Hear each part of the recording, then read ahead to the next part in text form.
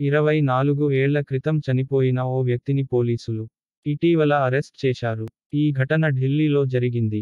పంతొమ్మిది వందల తొంభై ఎనిమిదిలో ఓ దొంగతనం జరిగింది.